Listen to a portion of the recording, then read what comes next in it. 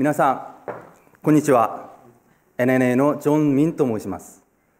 皆様の中には日本人じゃないの？と思う方もいらっしゃると思うんですが純粋な韓国人です。あの納豆と大相撲が大好きです。本日は現地日本企業の中間管理職育成につきまして現地であの日本日本人を含めた日本語が堪能な留学生を現地でもっと採用するべきだというテーマで皆様と一緒に考えたいと思います。どうぞよろしくお願いいたします。本題に入る前に簡単に自己紹介をさせていただきたいと思います。私は韓国ソウルの韓国のソウル近郊のアンサンにあるクンジャ工業高校を卒業しましてサムソンポリマっていうあのあの化学工場で3年間仕事をしてました。温度が300度以上の化学薬品を取り扱う仕事で下着が足にびっしょりになり一日何回も着替え労働厳しい肉体労働をしていました。しかし将来は国際的に活躍するグローバルビジネスパーソンになりたく自ら333自己成長という戦略を立てました。それは3つの国で3つの言葉で3つの学位を取ることでした。そして10年という長い時間がかかりましたが韓国で高校日本で茨城大学を去年ここイギリスでソアス大学を無事卒業しましてここロンドンで念願の海外就職を果たしました。今私が勤めている会社は欧州経済ビジネス情報を日系企業に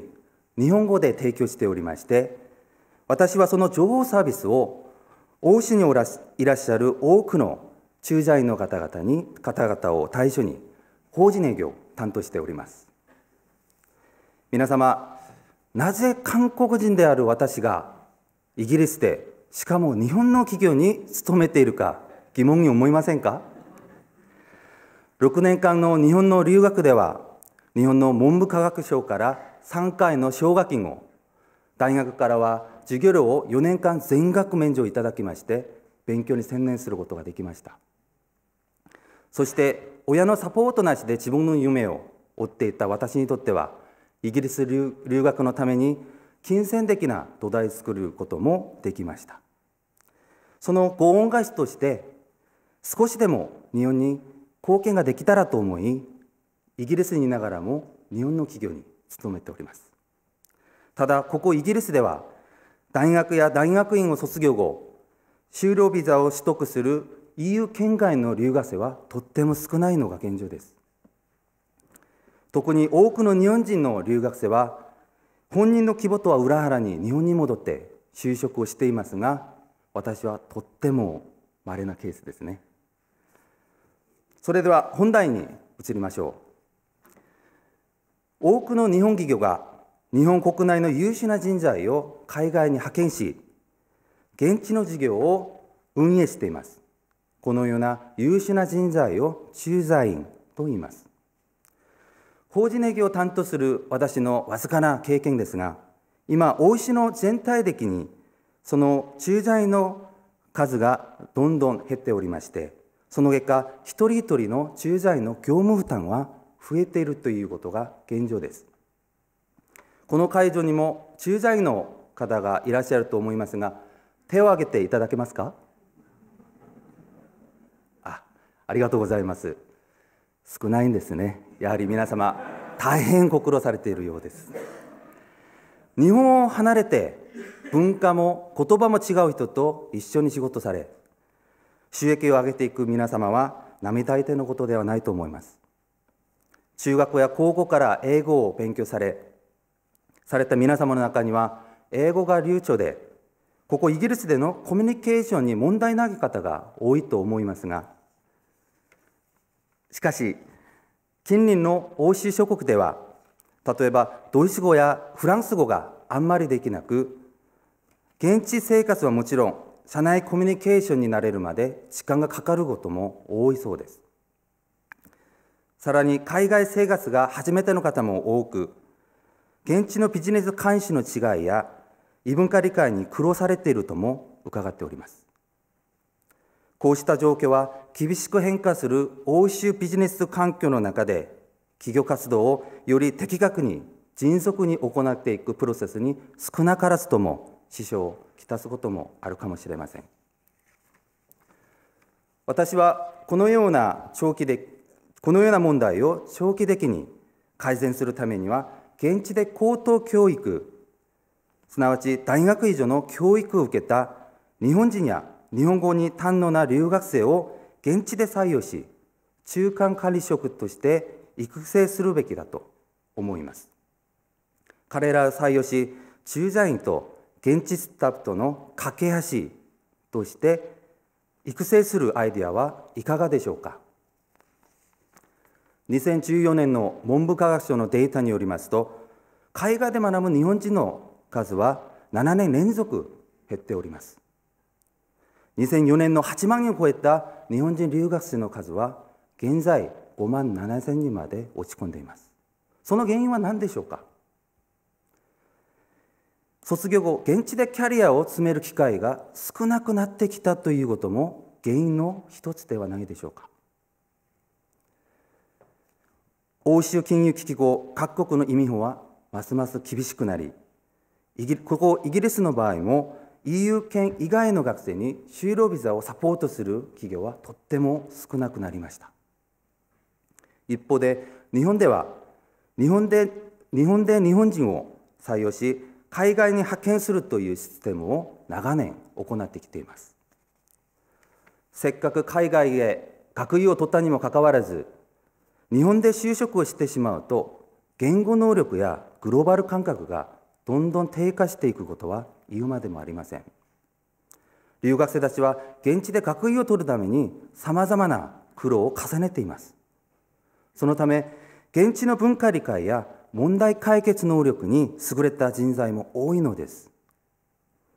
現地で流行するものや必要なサービスなどについての知識があり将来的には現地の消費文化や市場動向をよりよく把握することも可能ではないでしょうか。さらに留学を通して培ったコミュニケーション能力で駐在員と現地スタッフとの距離を縮められると私は信じております。とはいえ日本企業の努力だけでは簡単に現地採用者を増やすことは厳しいんでしょう。政府の協力言い換えますと規制緩和や優秀な外国人留学生に対する支援など現地政府と日本企業が優秀な留学生を発掘し育成するために互いに工夫することが理想的です。長期的に考えると現駐在員の迅速な意思決定をサポートし業務効率を向上させグローバルな競争力を強化することにつながると信じております。海外駐在の3年から5年という期間中で駐在の駐在の方々が作られた実績をノウハウとして公認の方々や日本本社に円滑に引き継いでいくこともこの駆け足の大きな役目です。現地の拠点における駆け足は日本本社と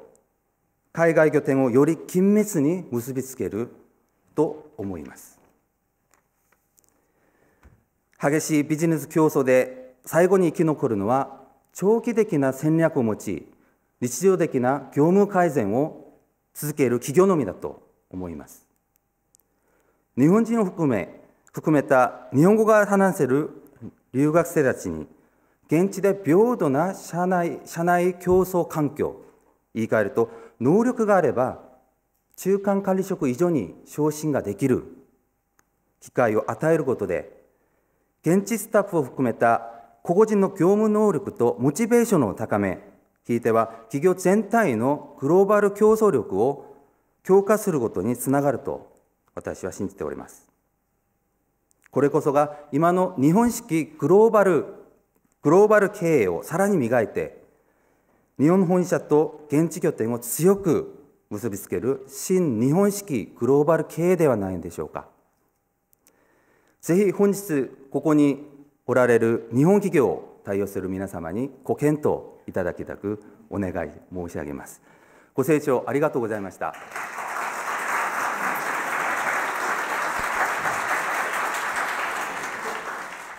ミンさんありがとうございました。ありがとうございました日本で6年間日本語を勉強されてこちらに来ても日本語を勉強されてたんですか？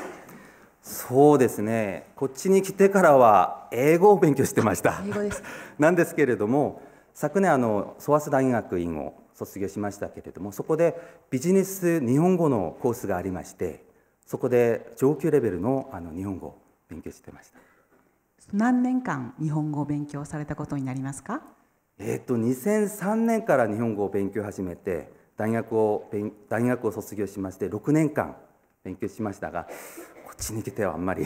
勉強はしてませんね。はい。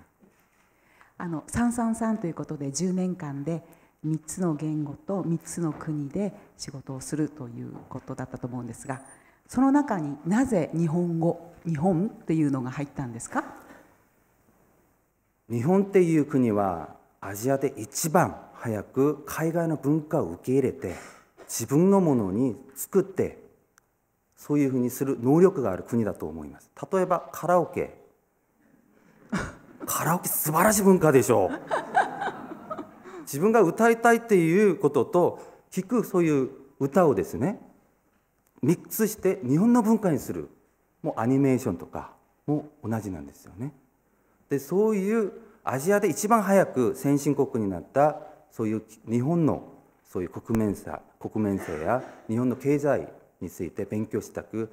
海外こう世界に行くための駆け足として日本を選びました。えー日本語をねこうやってマスターされて、はいあの上手に使いこなし就職もされてますが一言で言うと日本語の難しい点と意外と簡単だなっていう点ミンさんにとってどんな点だったでしょうか？日本語の難しいことは韓国人としてはやはり発音ですね。今はあの10年間も発音あの日本語を勉強してたのは「つ」とかできるんですが大学で2年間お世話になった先生日本人の先生なんですが終わる時に言ってました「ミンさん2年間私を松田と言ったんですが私の名前は松田です」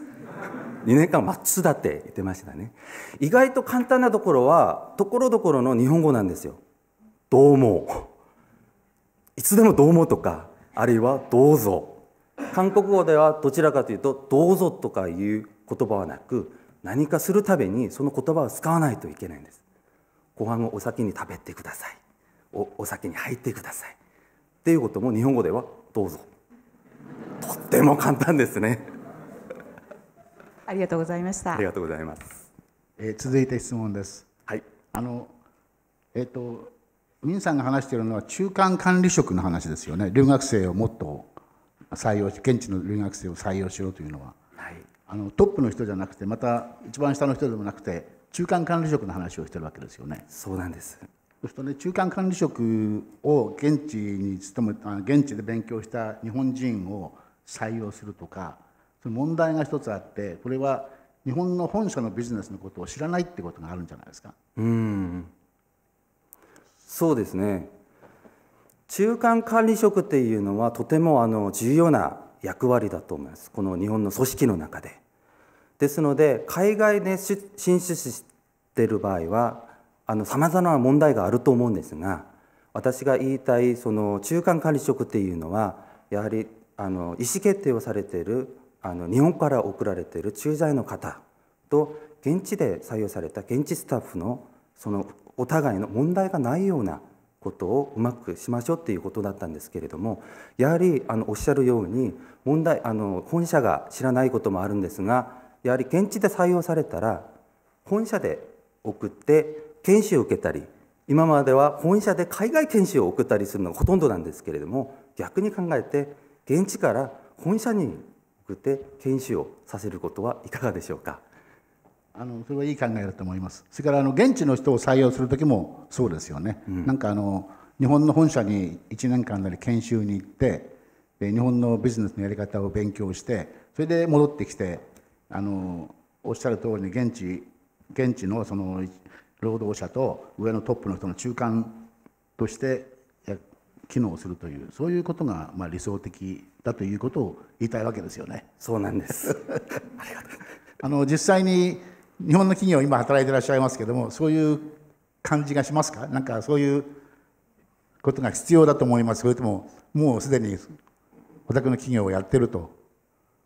そうですね。私が勤めてる会社は私が今思っていることをもうまんべんなく実行していただいてるんです。現地で現地で優秀な人たち私のようにここで就職あのあの卒業している人はさまざまな知識を持ってるんですね。でこっちで苦労もされてるのでそういうことをあのこっちで授業で生かすように現地採用していただいて私はとっても嬉しいです。あの333ということでしたけども、はい。これを4にするとか5にする希望はないんですか？ないです。限界です。3で3カ国語でもうあの勘弁してください。今はじゃあ英語と日本語と韓国語ということで。そうなんです。それで今3つ同じくらいに喋れますかね？そうですね。最近は韓国語あんまり喋ってないので意外と韓国語はちょっとできない時がありますね。そうですか。頑張ってください。どうもありがとうございました。どうもありがとうございました